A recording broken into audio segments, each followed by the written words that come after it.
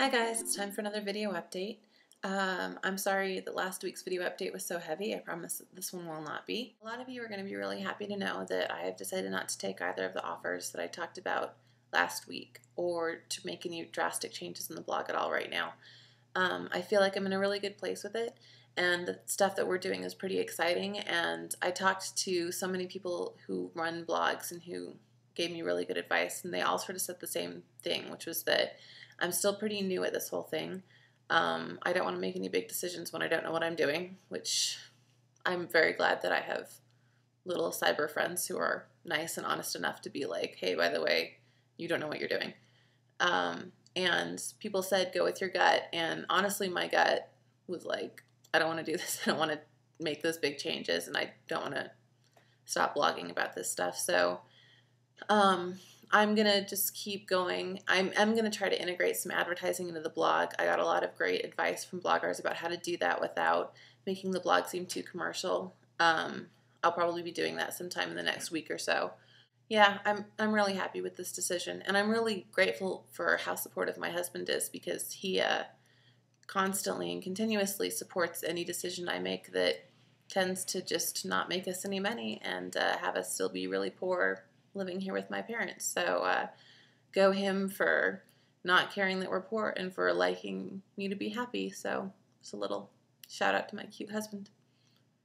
This week was Disney Cruise Week, and I really liked it. I feel like sometimes I neglect the Disney Cruise brides and the uh, Disneyland brides because so much of our stuff is just Disney World, Disney World, Disney World.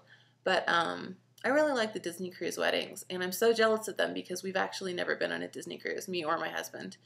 Um, I was supposed to go on a Disney cruise with my ex boyfriend when I was working in the college program, and I paid for it and everything. It was like the cherry on top. It was one of the last things that we were supposed to do, and it was right when the two boats got sick. I don't know if you remember that because that happened in 2002, but both of the boats got some random virus and they kicked everybody off, and then they opened the cruises up again. And I was like, oh, I'm so lucky because I was going on the week that they opened it back up again. But the first thing that they did is they took all the people that had been kicked off of their cruises because the cruise boats were sick and they put them all on the cruise the next week. And in order to make room for them, they took all of the Disney employees off the Disney cruise because if you worked for Disney, you obviously would be able to go anytime you wanted at a discount.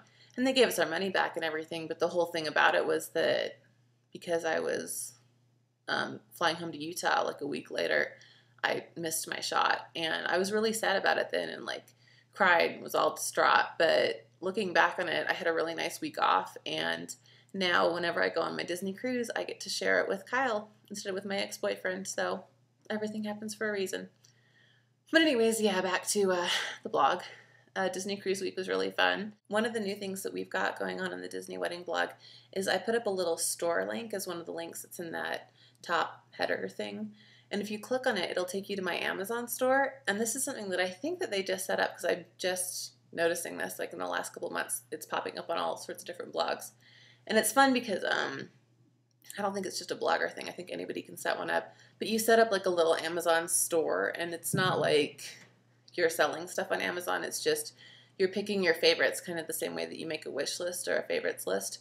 Um, and you pick all your little favorites but you can put them into categories. So i made a store and i put like all my favorite picks for planning a disney wedding and then all my picks for planning a disney cruise and it was it's so much fun. It was like online shopping without the money. So I picked out like all the best books and all the little things. So um, even if you're not in the market for anything, go take a look because uh, I had a really good time making all those little lists.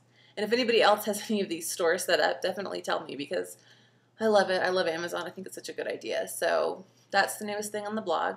In other wedding news this week, uh, Disney Fairy Tale Weddings, like the official Disney Fairy Tale Weddings, finally put up a Facebook fan page so you can go on there and become a fan, and they're going to be using that as another way to uh, talk to people who are interested in Disney weddings, hear back from brides who have had Disney weddings about what they liked, things like that. So that's nice. I mean, I think that any open communication that you can have with the people at Disney Fairy Tale Weddings not only will help brides who are in the planning process, but it really helps them to hear feedback from brides who have been through it because um, they want to know what you loved or what maybe you would have liked to have seen but you didn't see when you were planning your wedding. So uh, if you're on Facebook, go find them, fan them, and uh, join in that conversation because I'm thinking that there's going to be some really interesting developments um, that have to do with this whole social networking thing that they've really been doing over there. I don't know if you guys have noticed, but they also have a Twitter, and I know that a lot of you are already following them, but they tweet not only um, things about Disney fairy tale weddings, but they also retweet interesting wedding stuff from around, the web, and they um,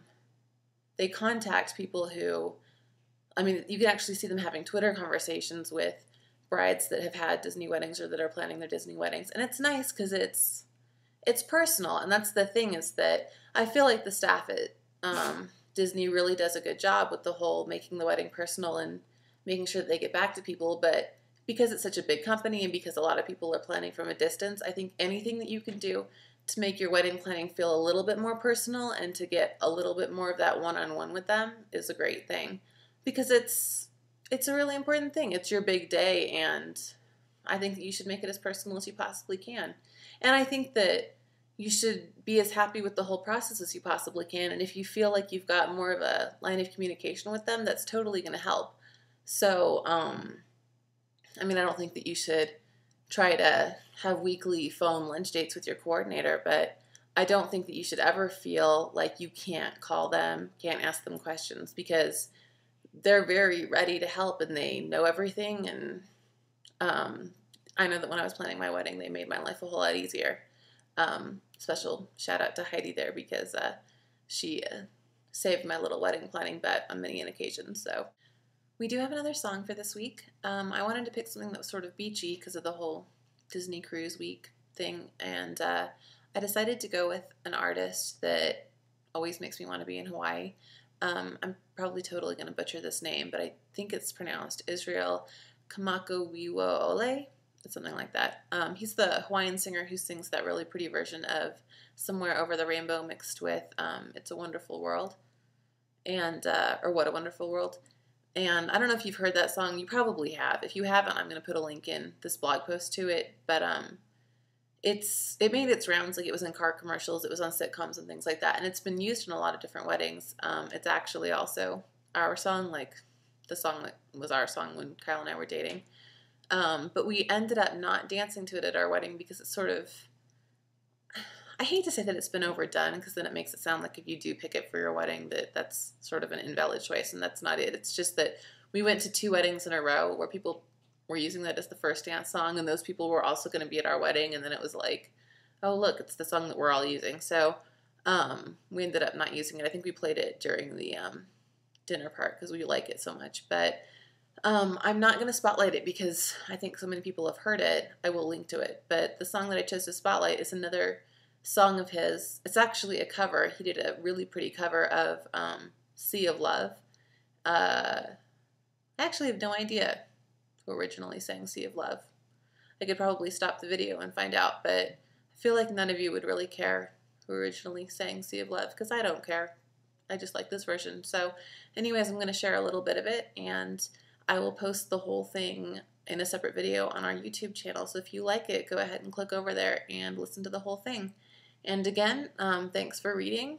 I'm looking forward to next week, and uh, I'll talk to you next Friday.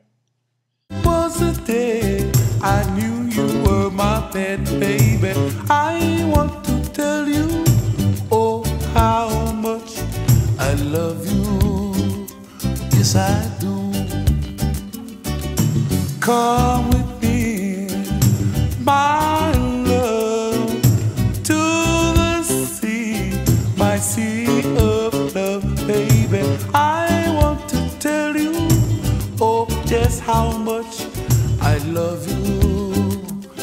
oh,